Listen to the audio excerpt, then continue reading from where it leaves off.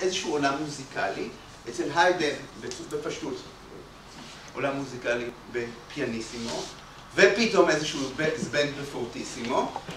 אגב, זה נראה הפתעה מאוד מאוד גסה, אבל אם ממשיכים לשמוע את פרק הווריאציות מסימפוניית ההפתעה, אנחנו רואים שהוא אחר כך מפתח את זה ומשחק עם זה בצורות מאוד מתוחכמות. זאת אומרת, כאילו הוא עושה בהתחלה את הדבר הכי פרימיטיבי, אבל אחר כך אנחנו רואים ש...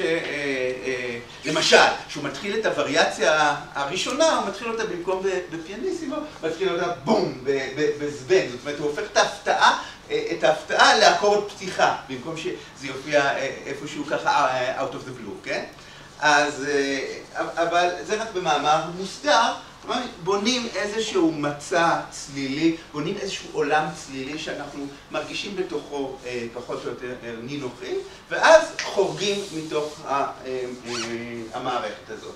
כאן בנינו משהו אחר, איזשהו עולם טונאלי בתוך טונאליות מסוימת, וההפתעה היא החריגה הדרסטית לטונאליות מאוד רחוקה, אבל כמובן, כפי שניסיתי להראות, גם קובע כאן האיך, לא רק עצם העובדה שהגענו מפה לשם. איך לתרגם את זה,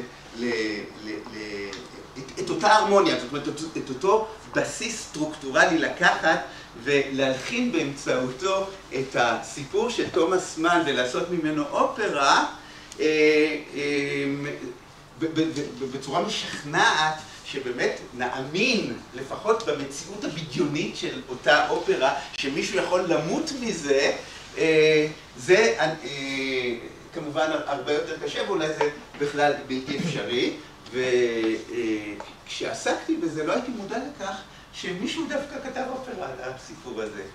והמישהו הזה הוא אפילו מלחין ישראלי, ומלחין ישראלי די מחונן, בשם רון ויידברג, שאולי שמעתם את שמעו, היום הוא גם ראש המחלקה למוזיקה וספרויות ואומנויות באוניברסיטה הפתוחה, והוא כתב אופרה מלודרמה קאמרית על היצירה הזאת. הוא הלחין את הזה, אבל באופרה מלודרמה חוקי הז'אנרים, הז'אנר מאפשרים לעשות את הדברים בצורה כזאת שאנחנו לא באמת נחשוב שמישהו יכול למות מזה, אנחנו פשוט נקבל את זה שבתוך המציאות הבדיונית, המסוגננת של המלודרמה, אפשר, דברים כאלה יכולים לקרות, כן? זה לא דרמה ריאליסטית, זה לא סרט ריאליסטי שצריך לשכנע אותנו ברמה הזאת שאכן זה יכול לקרות כך ולא אחרת. אוקיי, מה שאני רוצה עכשיו זה לקפוץ לדוגמאות נוספות, אבל כאן של חריגה מאיזושהי מערכת ציפיות מסוימת, ונדלג על כמה דוגמאות, כמובן שהזמן, הכנתי הרבה יותר ממה שהזמן מאפשר, ונקפוץ, אני מקווה שנשמע פה משהו.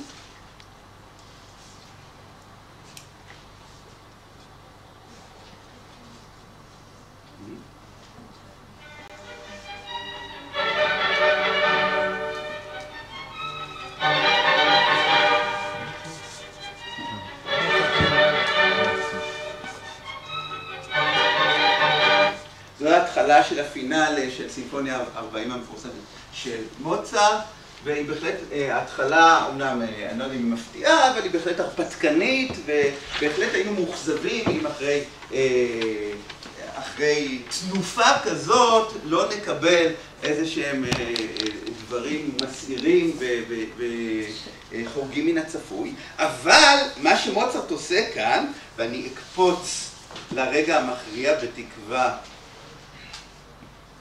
שזה יעבוד. אוקיי, נשמע ככה את סוף הסקשן שקודם ל...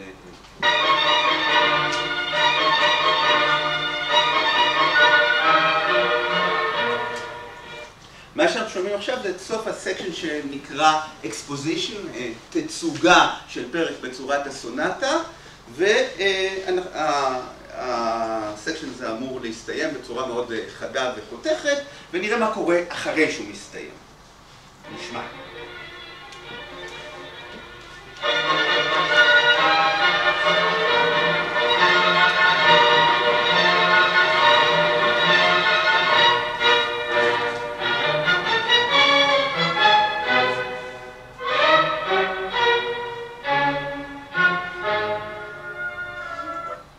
מה זה? כן? אה, אם, אם היינו שומעים רק את הקטע הזה, בלי שום קונטקסט, ולא הכרנו ציפוני ה-40 של מוצרט, מה היינו חושבים שזה יכול להיות? היום זהה את הסגנון, את המלחין. טוב, קשה לכם קצת לעשות את התרגיל הזה. פלופ. מה? פלופ. פלופ? אבל הם, הם כולם מנגדים אוניסונו, כך שהפלופ הזה הוא מאוד... זה לא יכול להיות... לא נחשוב שאיזשהו נגן מעד פה וזייף, מכיוון שמוצרט, כדי שנהיה בטוחים שהוא התכוון לזה, כולנו פה אחד, כן? כל התזמורת מנגנת בטוטי רועם ואוניסונו את סדרת הצילים הזאת. בואו נשמע את זה רגע עוד פעם.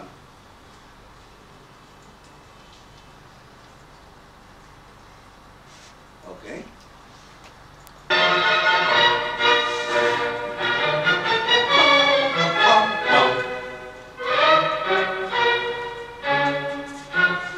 כן, היינו שומעים רק את הסדרה הזאת. איפה היינו מבחינה סגנונית? מה היינו משערים? סצנת זעם מתוך אופרה. איזה אופרה? זה אופרה, זה יכול להיות משהו יותר מאוחר. הרבה יותר מאוחר ממוצרט, אני הייתי מניח, אם כי יש איזשהו, יש איזשהו רצף של צילים די מוזר כזה, גם אחרי כניסת הקומנדטורי של דון ג'יובאני, אבל גם אצל מוצרט עצמו לא נמצא הרבה סדרות כאלה. לא פלא שמי שהתעניין בקטעים מהסוג הזה היו הנס קלר וכאלה שהתעסקו עם שנברג והדודקפוניה ומוזיקה אטונאלית בכלל וכולם די מתרשמים מזה שאפשר לנגן לפחות חלק מהרצף צלילים הזה, להפוך אותו ממש למין שורה של דודקפונית, לא של 12 טונים, אלא של עשרה טונים שונים ביחסים אינטרוולים מוזרים שמופיעים ברצף. לא ניכנס כרגע מה זה מוזיקה דודקפונית, אבל אם טלי הזכיר את שנברג בהקשר הזה שאם כל הזמן אנחנו בהפתעה אטונאלית, אז איך אנחנו יכולים ליצור הפתעות? אני מתאר לעצמי שחובבי אסכולה וינה השנייה יתווכחו איתך בעניין הזה, אבל זאת בהחלט שאלה, שאלה שהיא לגמרי במקום. לעומת זאת, כשאנחנו שומעים אצל מוצרט רצף של צלילים כזה, שאנחנו פתאום שומעים כאילו איזה משהו, מוצרט לא ידע שהוא אנכרוניסטי, כן? הוא לא ידע שפעם המוזיקה תהיה כזאת, בין אם באיזה אופרה מאוחרת של המאה הרומנטית, ובין אם... יכול להיות אצל מיירבר למשל, יכול להיות אצל מיירבר בכל מיני סצנות טרגיות. גם זה כבר איזה 70 שנה יותר מאוחר, 60 שנה יותר מאוחר, משהו כזה. 40. בכל אופן, הדודקפוניסטים חשבו שזה יותר דומה למוזיקה של המאה ה-20, שזה יותר בכיוון של שנברג, ברג, אם כבר אופרה אז אולי בווצק. תפיסה סלקטיבית. אז כאן החריגה היא מתוך עולם צלילי, לא רק מתוך איזושהי טונאליות, לה במול מז'ור, פתאום קפצנו לדו מז'ור, אלא כאן החריגה היא בכלל מחוץ לסגנון, כן? ומחוץ לתקופה, יש כאן איזה מין קפיצה אנכרוניסטית של המלחין אל חיק העתיד הבלתי צפוי, כן? בזמן שזה נכתב. מה? מה? אתה יכול להסביר את החריגה במונחים לא מוזיקולוגיים? מה הכוונה בחריגה? הפסקות כאילו? בוא נגיד ככה, שאם אנחנו, הסימפוניה, טילדם, טילדם, טילדם, טילדם, טילדם, טילדם, אני יכול לנסח, להסביר את הצילים שלה במסגרת סולם נתון, סול, מינור,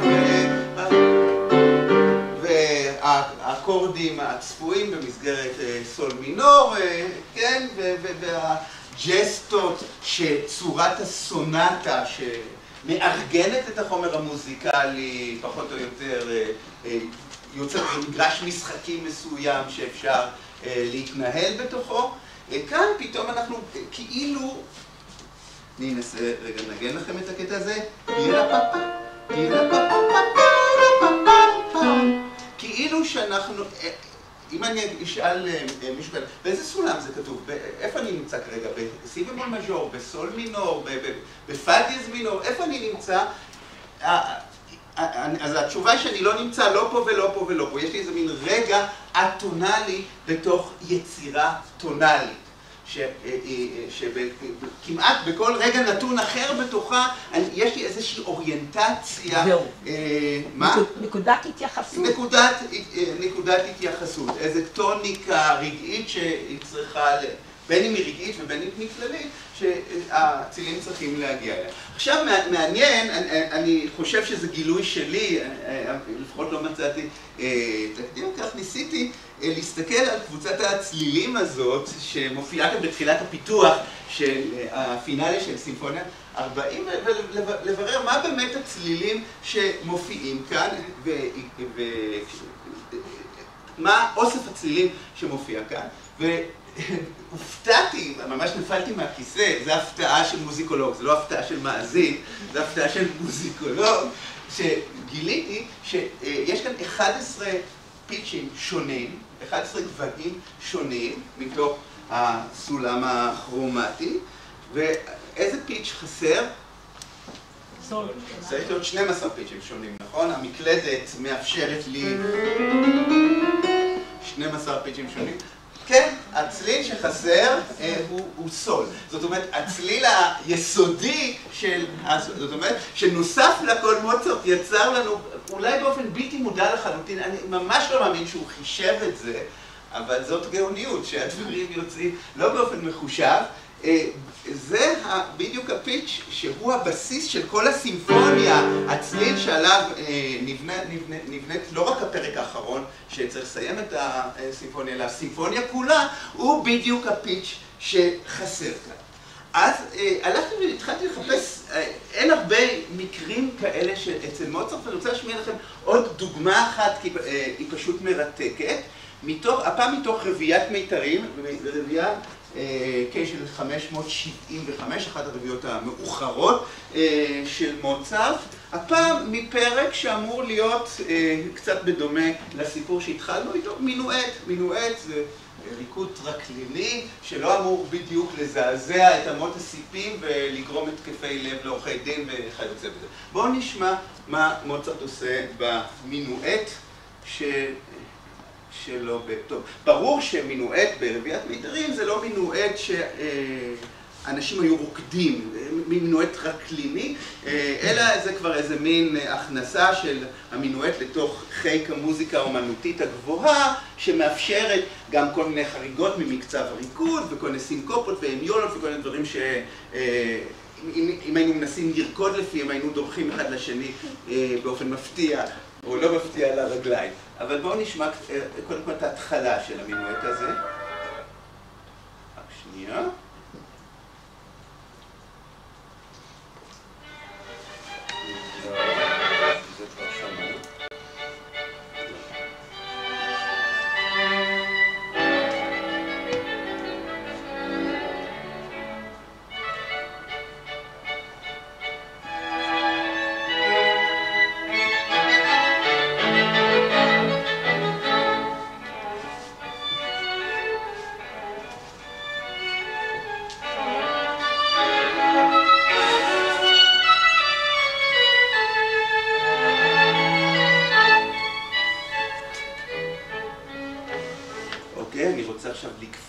למקום מקביל לחלוטין למקום ששמענו קודם בפינאלי של סימפוניה 40. זאת אומרת, בדרך כלל ביצירות מהסוג הזה מגיעים לאיזשהו סימן חזרה, החלק הראשון חוזר על עצמו, וכאן צפוי שיקרה משהו שהוא בלתי צפוי, כן? זאת אומרת, זה מה שנקרא וזה שוב פעם, בהינתן שהיצירה נכתבה ככה כבר בשלהי המאה ה-18, כשכבר האידיומים השחוקים נמאסו על המלחינים הגדולים לפחות, וכאן כשמתחיל הסקשן הגדול השני של, ה, ש, ש, של היצירה, ולא משנה אם זה מינואט או סונטה ענקית, אנחנו מצפים למשהו בלתי צפוי. עכשיו, שוב פעם, דיברנו על אי שחקות של אידיומים, במקום שיתחילו כאן במוטיב הראשוני בסולם חדש או משהו כזה, שזאת הפתעה קטנה מאוד, או אפילו בסולם רחוק, שזאת הפתעה קצת יותר גדולה. מוצרט עושה לפעמים, כמו שראינו בסימפוניה בסול מינור וגם במינואט הזה, משהו הרבה יותר קיצוני, ואני חושב שזה יותר מפתיע במינואט מאשר בסימפוניה. הקשיבו.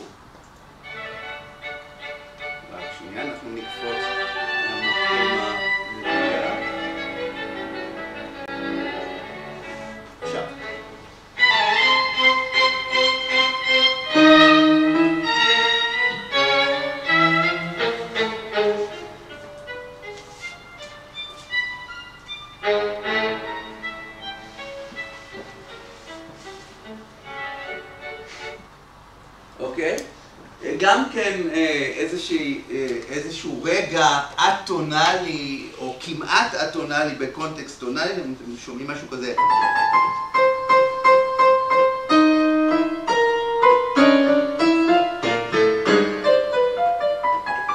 איזה מין צילים מפוזרים, כאילו באופן כמעט אקראי.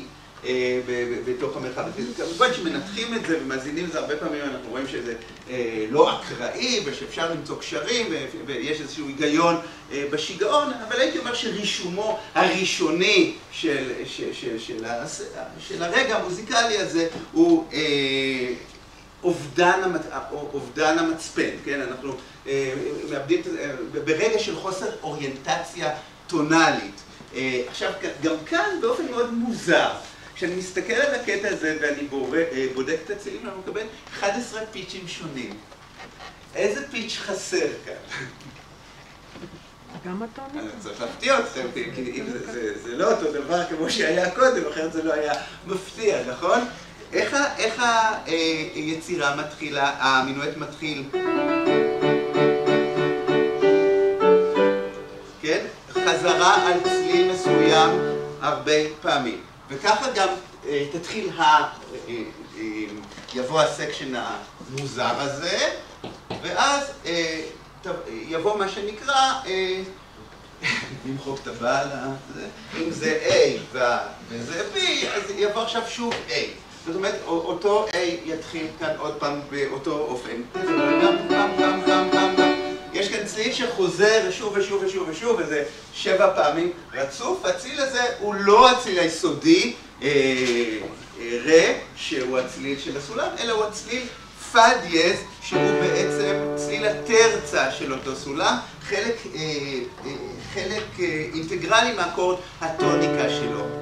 אבל עכשיו כאן זה לא איזה מין צליל אבסטרקטי סמוי שאף אחד לא, בלי לעשות את כל התחשיבים, אף אחד לא ישים לב אליו שהוא חסר כמו במקרה של הסול בסימפוניה 40. כאן הצליל הזה מיד מופיע ברפריזה אחרי, אחרי. זאת אומרת, כאילו שמוצרט יוצר ציפייה לצליל חסוך. אבל תשימו לב, בניגוד לציפיות עכשיו זו ציפייה מעולם אחר. מה ההבדל בין הציפייה הזאת, נגיד, לציפייה שבטהובן יצא, שהדגמנו בסימפוניה 40, סליחה, בסימפוניה החמישית פרק שני. שם בטהובן הכניס אותנו לדריכות, מתוך איזושהי ציפייה לאיזושהי תפנית מפתיעה, שאם היא לא הייתה באה, לא הייתה באה, היינו מופתעים במובן של מאוכזבים. כן? האם אפשר להגיד שאכזבה היא גם הפתעה בתחשיבים שאתה עושה? אז מעניין, אכזבה והפתעה זה אותו דבר. אבל בכל אופן צריך להפריד ביניהם באיזשהו אופן, אני מניח. אוקיי, כאן אנחנו לא דרוכים, אנחנו אולי במצב של תהייה, איבדנו פתאום את המצפן הטונאלי לאיזשהו רגע, אבל אנחנו לא עושים איזה מין תחשיב איזה צליל בדיוק חסר כאן. זה יכול להיות שקיים במקרה הטוב באופן לגמרי בלתי מודע, בשמיעה המאוד בלתי מודעת. אבל כשאנחנו מקבלים אותו, בתחילת הרפריזה יש לנו איזה מין תחושת המחיה, כן? לילד הזה ייחלנו, כן? זאת אומרת שכאן מוצרט בונה ציפייה בלתי מודעת לקהל, ואולי בלתי מודעת אפילו לא עצמו. אני ממש לא בטוח תמיד שואלים, כשאתה עושה כל מיני מניפולציות אנליטיות ומראה כל מיני קשרים בתוך יצירה, תמיד שואלים, המלחין חשב על זה? אין מחזור של סטודנטים, בעיקר בשנה א', שלא מעלה שוב ושוב את השאלה הזאת, ולא תמיד אתה יודע, אתה לפעמים די נבוך ולא יודע בדיוק מה לענות. הייתי אומר שזה מסוג הדברים שהייתי עונה, אני בכלל לא בטוח שהמלחין היה מודע לזה. אבל בגלל ש...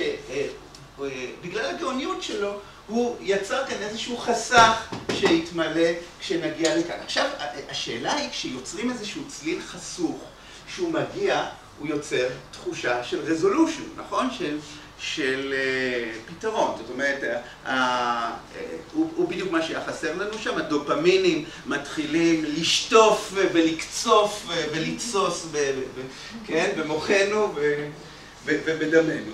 אז זאת אומרת שזה בדיוק ההפך מהפתעה, נכון? הפתעה זה, זה תסכול, וכאן אנחנו... כאילו מופתעים לטובה. זאת אומרת, זה, זה, זה הרזולושן במובן הכי הכי טהור שלו. גם חזרנו לסקשן הפותח והיצירה תיסגר בצורה יפה, גם קיבלנו את הצליל החסוך שלא היינו מודעים לזה שהוא חסוך. אני מבין שכבר אין לי, אין לי זמן יותר אנחנו רוצים לקיים דיון. מה? כי יש לי, יש לי עוד דוגמה אחת שאמורה להשלים את, את, את העניין הזה. עכשיו, זה מוביל אותי לעניין של צלילים חסוכים. מה האפקט של אה, צליל חסוך? האם הוא מפתיע או לא מפתיע? אה, וכאן אני רוצה אה, להשמיע לכם דוגמה לא משל המלחינים הקלאסיים, אלא מלחינים גם הם קלאסיים. תכף תדעו על מה אני מדבר.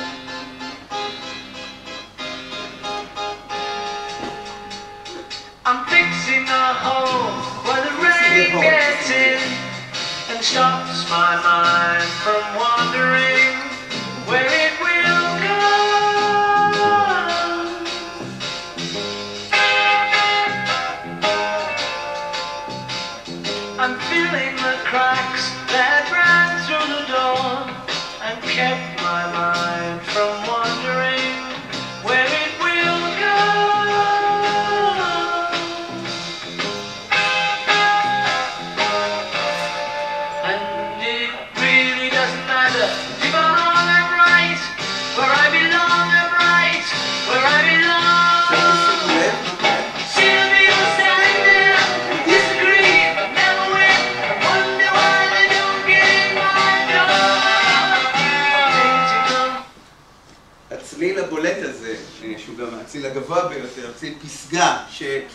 לעצמו איזה 300 פעם רצוף. איך הוא מתקשר לענייננו? הוא לא היה עד אז, בדיוק, הוא צליל, צליל חסוך. זאת אומרת, פול מקארטני בנה לנו כאן איזושהי מערכת צלילים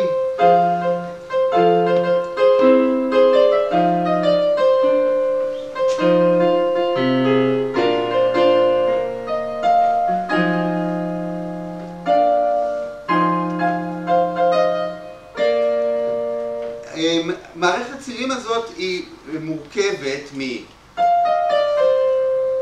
מרצף של ארבעה צלילים, שזה טטרקורד עליון של סולם מסוים. מי שמתמצא זה סולם דורי אלפא, אבל...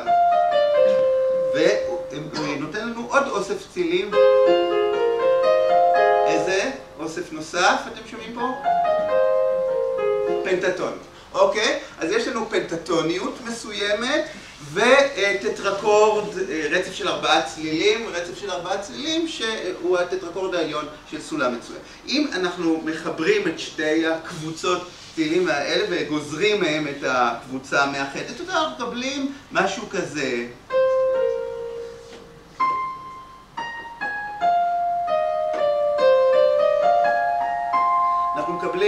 של שישה צלילים שונים בסולם, וצליל אחד הוא הצליל, הצליל החסר. וסקשן שלם שחזר פעמיים, מבוס... המלודיה מבוססת על האוסף הזה של שישה צלילים, ואנחנו בכלל לא מודעים לכך שמשהו חסר לנו כאן, אנחנו מאוד מתרפקים על החלק הראשון של השיר. פתאום!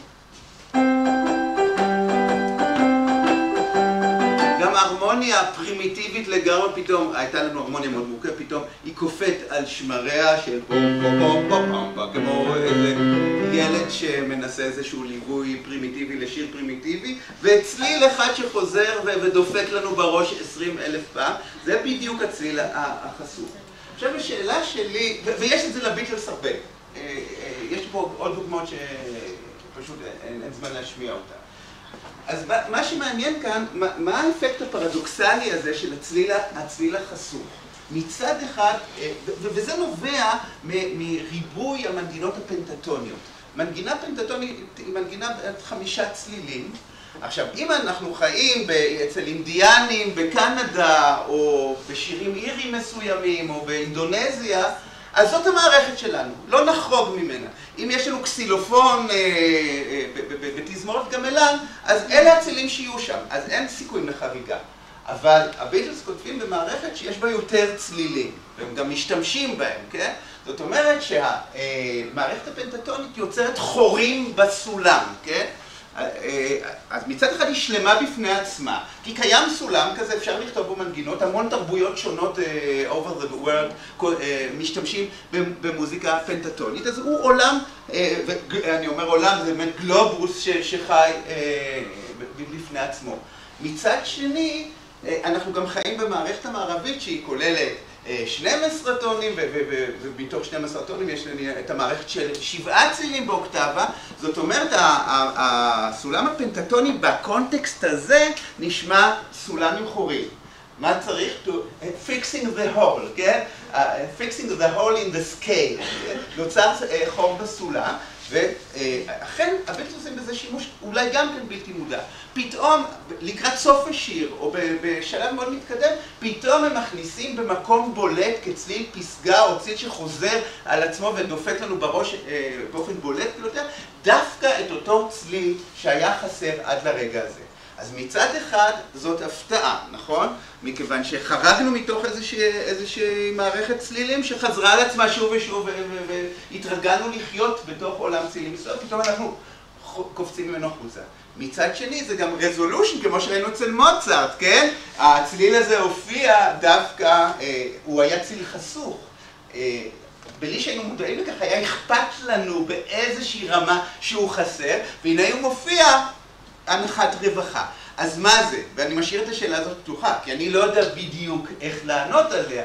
האם זאת אה, הפתעה אה, או פתרון, או פתרון מפתיע? מה בדיוק מעמדו כאן? מה קורה לנו בראש עם הדופמינים בהקשר הזה? אוקיי, עד כאן להיום. תודה.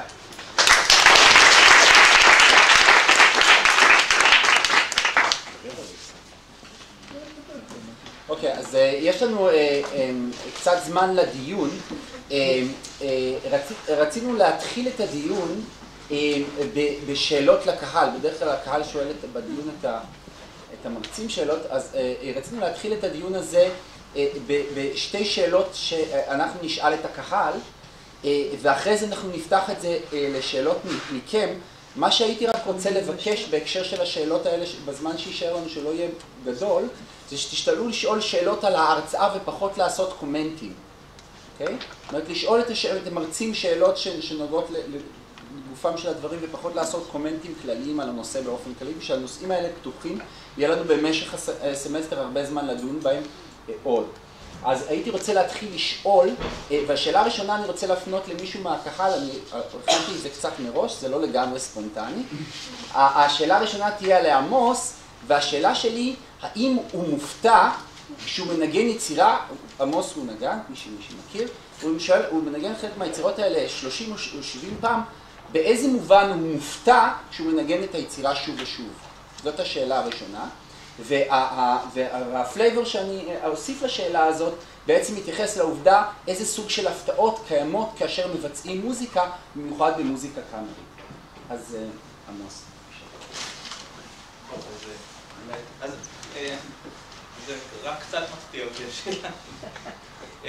דבר ראשון, אומרת, עד כמה אני מופתע מנגינת יצירה שניגנתי כבר הרבה פעמים, אז הכוונה, אני מניח, היא להפתעות שהמלחין תכנן שיהיו מפתיעות, האם הן מפתיעות אותי כל פעם, או האם, האם אני מצליח להעביר את ההפתעה הזאת לקהל, או אה, האם אני צריך להיות מופתע.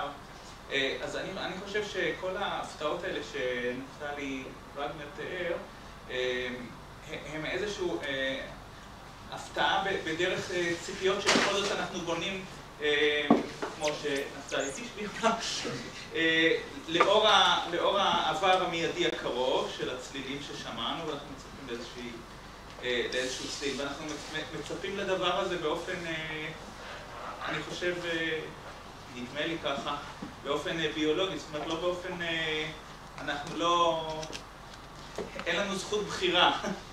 זה, זה מוכתב לנו להיות uh, מופתעים, ולכן הדבר הזה הוא כן מפתיע. עכשיו כמובן ש...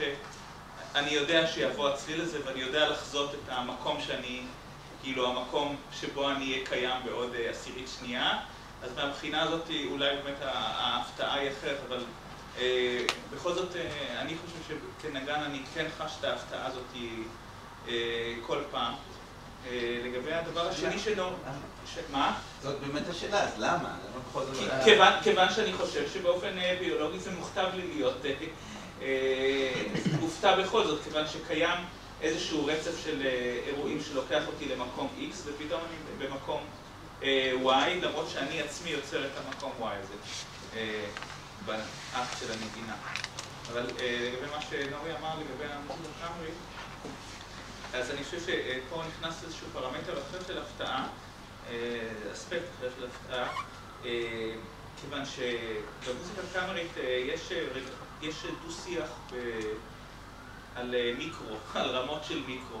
זאת אומרת, הנגן שמנגן איתי יודע שעכשיו יבוא הצליל הבא שלי ככה וככה, ובכל זאת אני יכול להביא את הצליל הבא שלי בצורה קצת שונה.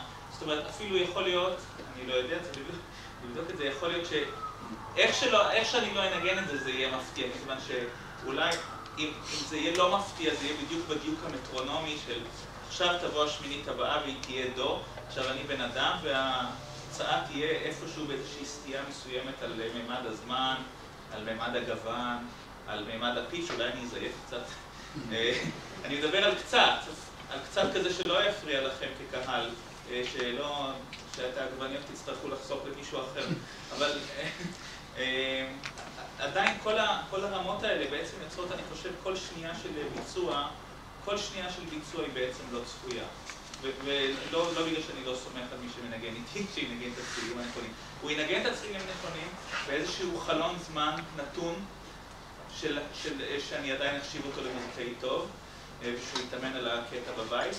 אה, ובכל זאת כל רגע כזה יהיה מפתיע. עכשיו לפעמים אני ארצה לעשות את השינויים האלה קצת יותר בולטים. פתאום אני אחשוב שאם אני אבליט את הצליל הזה, זה ייתן איזשהו סווינג למוזיקה.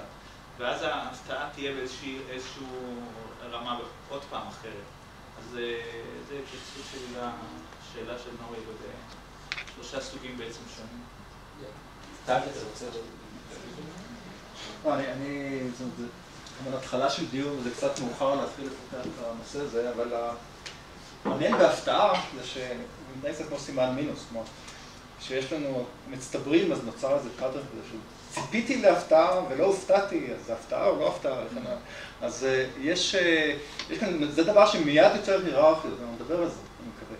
כלומר, יש כאן אה, מצב שבו הציפייה והאכזבה, כן, הדברים שהעלינו קודם, הם, הם באמת, יש כאן איזה משהו שסקלת הזמן וגודל החלום קובע אם אני מופתע או לא מופתע,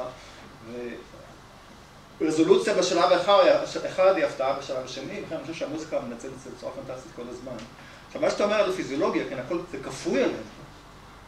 זה, זה, זה באמת ממש כך, כלומר, לפעמים המכניקה של התנועה שלנו, למשל, מכתיבה סוג מסוים, אפילו בעצם מנגינה, כן, אתה, יש לך כבר אינר, אינרציה, יש לך איזושהי דינמיקה שמושכת אותך לאיזשהו כיוון, ואתה צריך לעשות משהו שהוא בניגוד